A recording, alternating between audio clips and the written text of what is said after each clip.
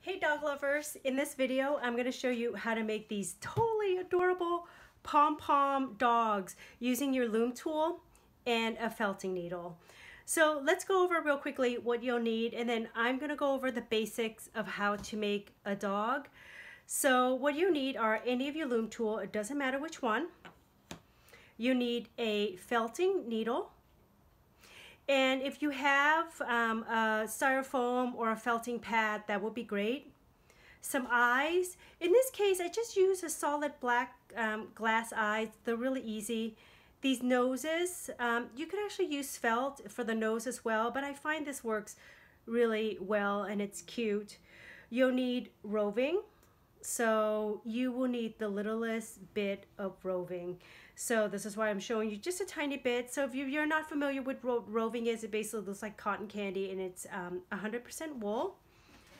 And you need 100% wool for the color of the dog.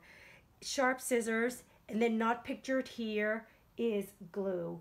I like using this glue because um, it's just available everywhere and it actually is a great textile wool.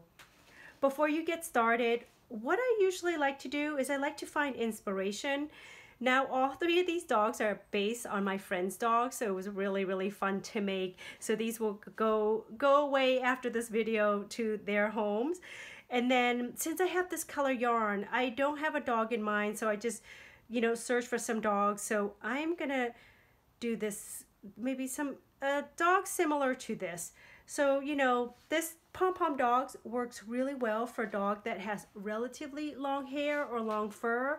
Doesn't work well with very, very short um, hair and fur dogs like my own dog. So um, just because it's, you know, with the pom-pom creates a lot of shag. But it's going to be so fun and it's so easy. And let's see what else you'll be surprised so i'm going to go over the basics so what i'm first going to do is going to show you how to make a pom-pom and then what we're going to do is we're going to focus on the eyes and the nose and then the ears. Those are the things that basically makes a dog. So before I do that, I just want to um, bring your attention real quickly to the fact that all these dogs, these two have a raised nose. Do you see that?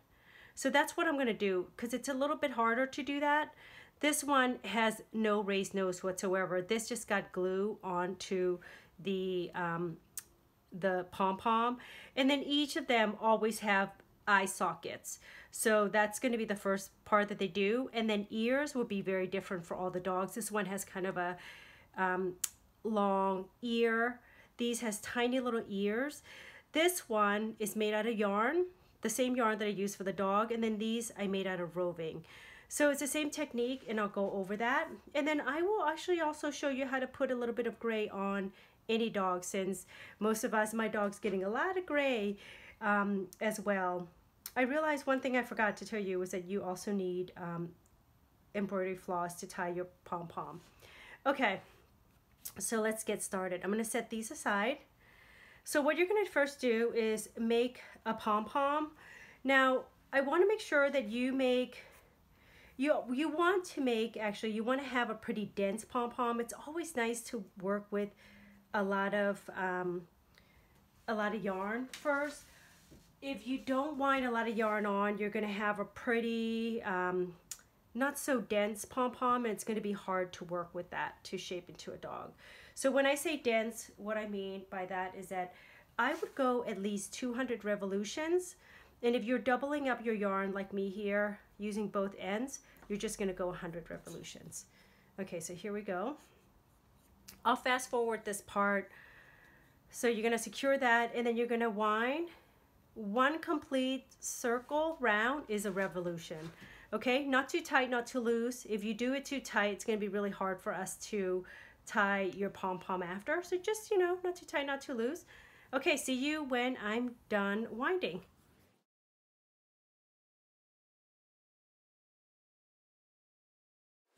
Okay, so this is a 100 revolution that I went. I had some yarn that got tangled up here, so I'm just going to use that and put that in here. So what we're just going to do is we're going to tie the pom-pom. So some of you may already be familiar with this process. You want to measure out two feet, so maybe from your fingertip to your mid bicep, cut, and then we'll set that aside. Take this underneath your yarn bundle. Make sure your ends are even. And you're gonna make one single tie, not a knot, just a tie like this. You're gonna take this end, which is closer to the bottom here, take it to the other side and flip your tool over. Adjust and make sure that this is in the middle. And then you're gonna make a surgeon's knot or a double overhand knot. So cross this over, one, two, and pull, okay?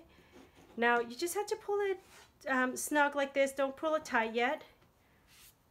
Take this off the tool. And now we're gonna make tiny little micro pull really close to the knot.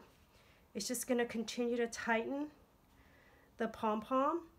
And if you can press on it and it feels compressed, that means it's good to go, okay?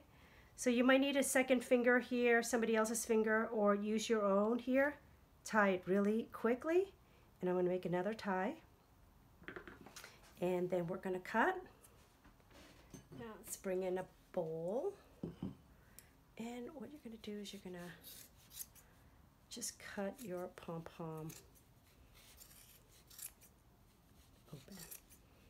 Okay, make sure you get all the loops. But if you don't get all the loops, no worries. You'll, you'll probably see them later and you could just cut them then. Okay, couple things to keep in mind. So what you're gonna have is this shaggy piece like this.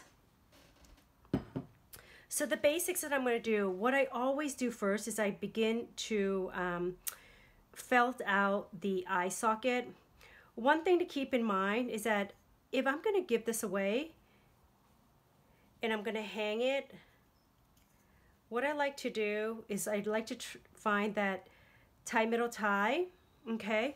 And for some of you guys, you might want to, because you might forget, and this could be a good point of reference, if you're gonna hang the dog, you might just want to use you might want to hang it now or just put a placeholder. We're to go underneath that tie middle tie. See that? Go underneath it. Okay. I'm going to leave this here because it's going to be act as my point of reference for the dog, for the tie. So for instance, it's hanging from here. You don't want to make eyes down here, you know, or on this side. Okay. So this is going to act as that. Now what you're going to do is you're just going to begin, you're going to take your felting needle and begin to felt out the eye socket, okay? Now you could lay it flat or you could just hold it. The nice thing about felting is that it's quite um, slow and so you don't have to worry about mistakes that much because you could always fix it usually.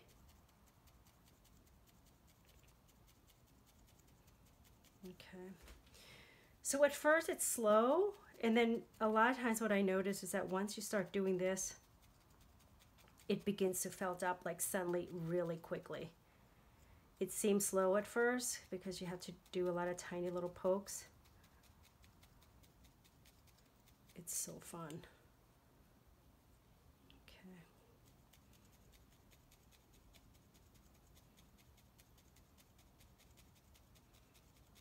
So this is my tip for making the dog. Um, I find these small little tips really helpful. So first I have that eye socket. It's not completely perfect. I'm gonna begin to just trim a little yarn off so it's a little bit easier to work with. Okay, so that's gonna be the ridge of the nose and this is gonna be the other eye socket right here. See, it's not completely um, flattened yet, but what I like to do is just to create almost like um, placeholders. Okay, because I like to actually begin, it's almost like sculpting. Just work on it to create create the shapes, create the areas. And then I come back and define it even more later. Okay, there. So those are the two eye sockets. I don't know if you could see. Let me trim this yarn because it might make it a little bit easier. Okay, and then I'm going to start working on the nose, but what I like to do now is I like to actually put in the eyes as a placeholder. So I have a whole bunch of different shapes here. Let me see what it looks like with the big eyes. Okay, I'm going to use the smaller eyes. And if this is really dense, if the eye area, when you um, try to insert the eye is really dense, I like to just take a needle and poke a hole and then follow by the eye.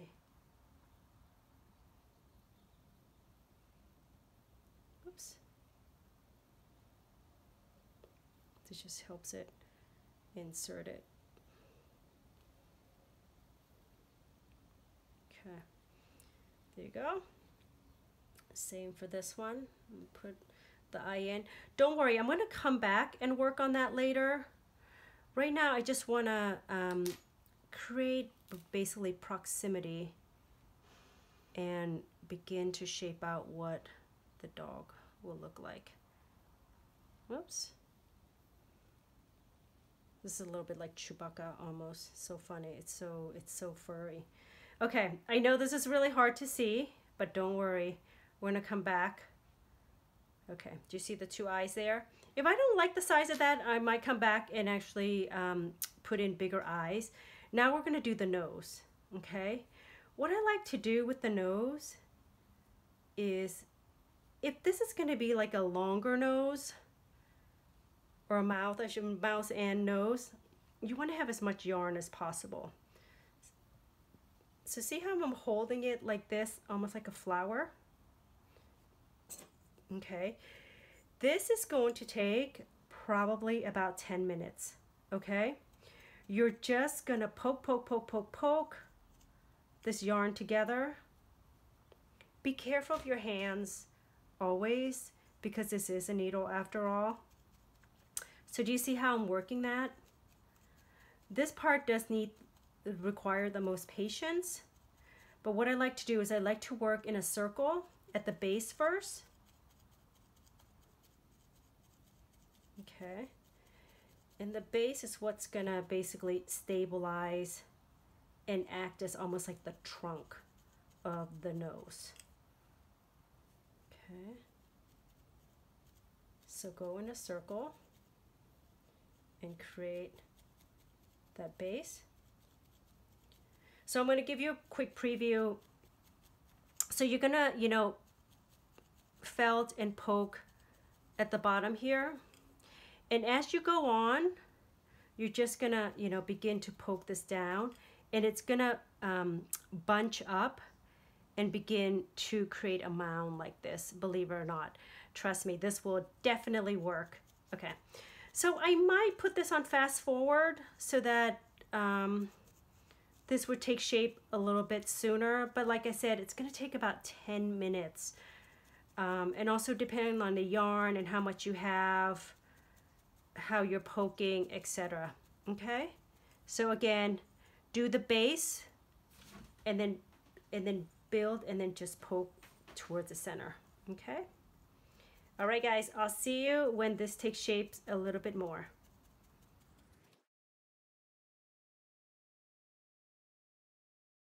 Okay, so I want to show you real fast. So I stopped this a little bit so see how this, the bottom part has now become completely felted, as I mentioned, right? See how it's like completely felted and you have all the shag on top.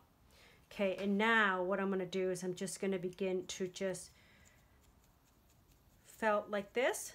Okay, we're gonna work, you're gonna work your yarn inwards.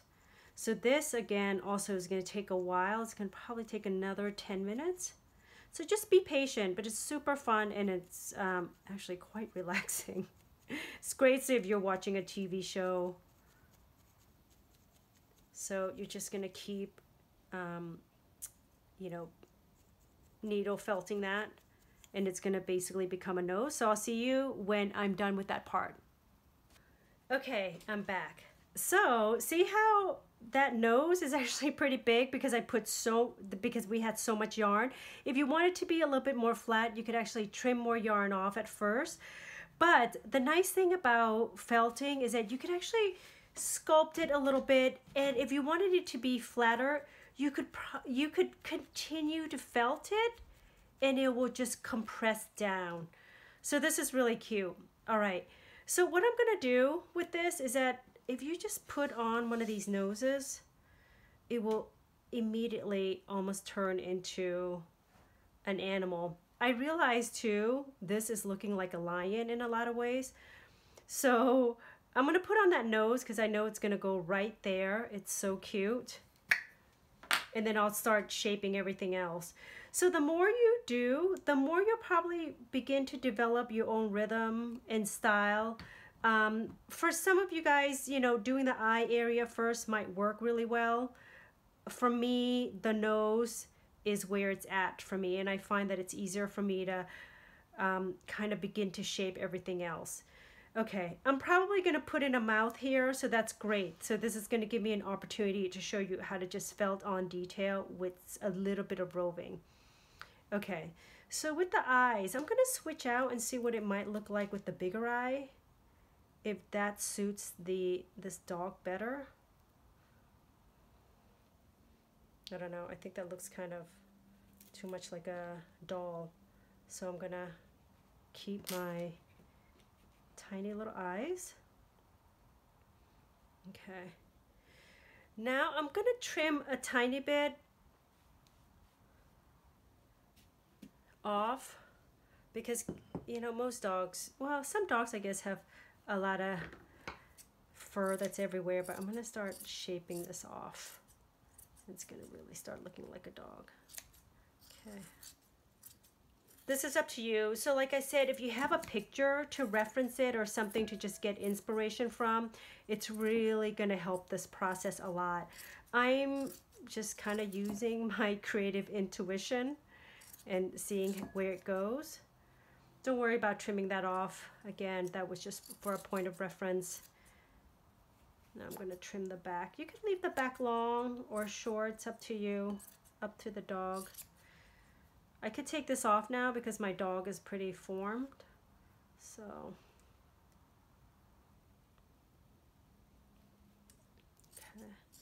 Now we're going to decide what we're going to do with the ears. So you have a couple options. Oh, actually, you know what? Let me put on the, the mouth first.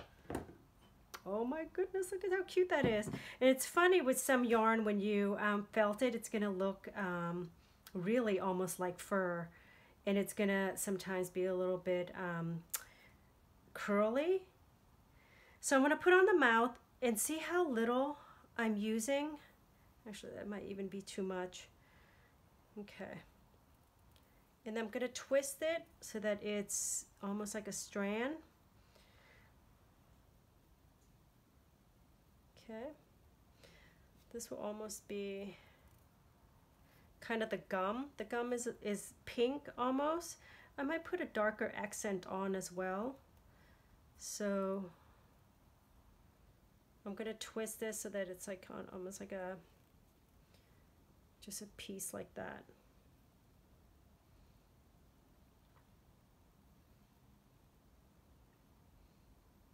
See, it looks cute. Okay. Now I'm just gonna gently felt that. This is gonna go really quickly.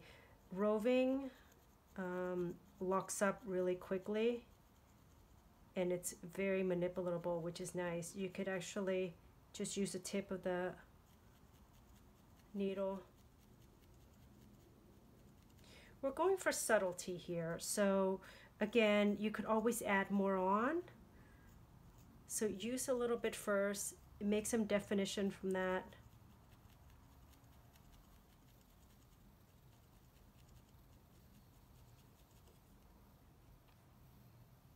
It's cute. It's hardly noticeable, but let's see. Sometimes it's nice to not, for it not to be totally noticeable. The funny thing is that this um, yarn just happened to be black right here, so it almost looks like inside the mouth. So that kind of worked out perfectly. Oh, cute. Look at that. Isn't that cute? Okay. So now I'm going to go over the ears real quickly for all of you guys out there. If you're doing these type of ears, so this is just like a floppy ear. Where's my yarn? Here it is. What I do for these floppy ears is I take actually a Loome tool and I just go like this. I think I went about seven times. Ended at the same place. Okay, cut. Take that out. Okay. And see how it becomes almost like an ear, like that? So you're just gonna begin to felt this. This is probably gonna take about five minutes. Just felt it together and it's gonna mat up like this. But see how the yarn, I don't know if you could see that. The yarn still leaves some detail, which looks really, really nice, gives it some definition. So you could just do that for about five minutes and it'll begin to felt up and you could just when you attach it we're going to attach it the same way we would do um, a full roving um, ear. So I'll show you how to do that as well. We're just going to felt it on to the dog.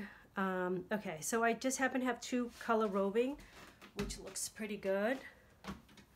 And you're going to take this a pretty you know not too small so it's about that. I have a tiny bit on the side right here. I'm going to make pointy ears that goes up like this. So first what I'm going to do is I'm just going to begin to poke with the general shape in mind. Okay, so, and you could add to it. Okay, so make sure you lift it up if you're working with styrofoam like I have here you don't want to go too long without lifting it up because it'll just get really embedded in there. Okay. One tip to keep in mind is that if you want something pointy like this, I ended up um, cutting it with scissors to make it pointy for one of them because to put this brown on the side, it got a little bit messy, so I just took scissors and trimmed it and it looked perfect. Okay, so once you have the general shape, if you want the ears to be a little bit denser, just add more roving onto the body.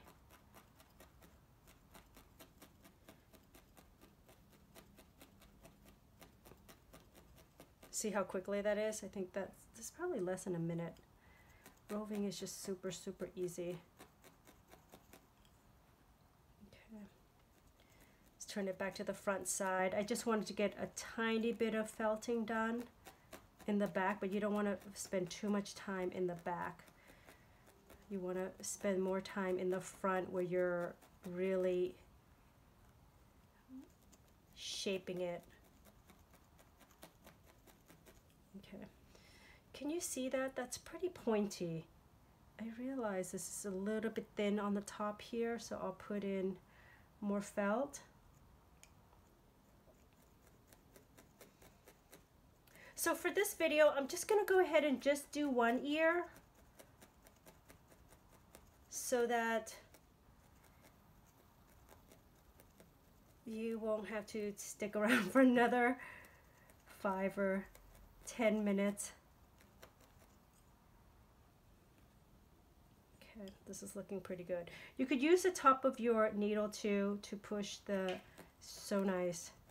The needles just really, just really is easy to help manipulate your roving. You could use it to get your roving in place even more. Okay, I'm to put in a tiny bit of accent just a tiny bit of another brown just to give it some additional texture, makes it look a little bit more natural.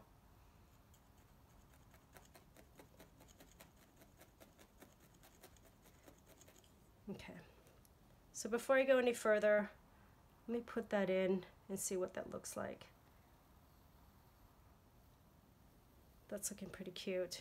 I'm to need to work on that a little bit more. It's not thick enough for me. And then I'm going to trim it down so that it's really pointy. That's the look I'm going for.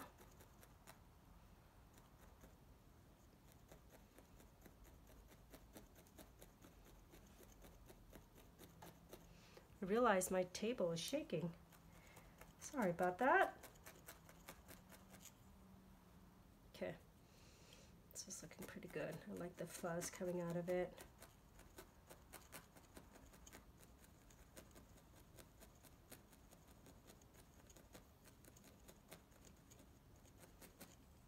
Okay.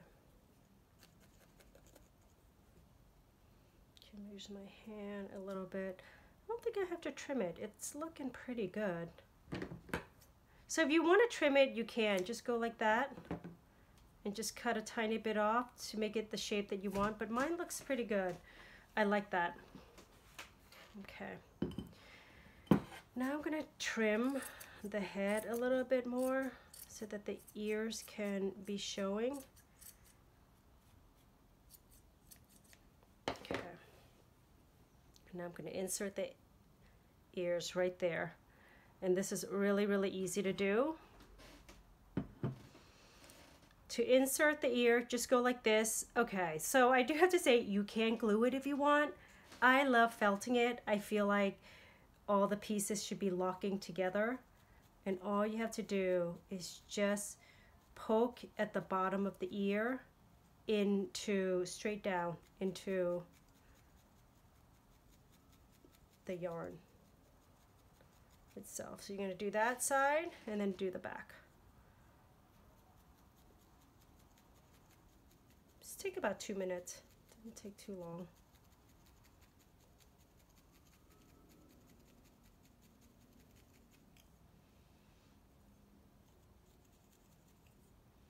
That's where it really locks in. Okay. All right, so like I said, I'm gonna work on the other ear afterwards. Now for the final piece, I'm gonna shape it a little bit so it looks more like a the dog that I want. So sometimes if you're just using, if you're freestyling like me, you're using a little bit of imagination, just take a tiny, tiny bit off at a time. Don't take a ton off because you can't bring it back just like real hair once you do that. Oh, this is cute. It almost looks like a Pomeranian hybrid of sort. Okay. So I think we covered everything in this. So again, let's go over what we learned and what we did together here. So all the dogs in this style has something really in common. They all start with a plain pom-pom. That's it. Really, really easy, plain pom-pom, made with any of the Loome tool. And what you want to do is you want to begin to shape a dog's personality by doing the nose, adding some extra detail like the mouth here or some gray hair. Um, you want to put in the eyes before or after as you shape the nose. For me, I like it better to put it on first and then shaping the nose. Then you put the little nose on and then the ears and then you begin to trim. So for instance, for this dog, one other tip too is that you could use a tip of your roving, um, your felting needle and begin to take apart some of your yarn and it just creates more of a fuzzy look and it's really, really nice and natural. And then you just want to, you know, begin to like reference back to the picture that you you are working with. Trim it as you need but trim little at a time and then you're gonna be really happy with these cute dogs. So if you have a dog in mind this is such a great gift to give to somebody um, you know dog lovers and cat lovers. I have to come up with a cat one. So dog lovers will swoon over this so enjoy everyone. If you have any questions, leave us some messages um, at the bottom of our video and we'll get back to you with some tips and some answers.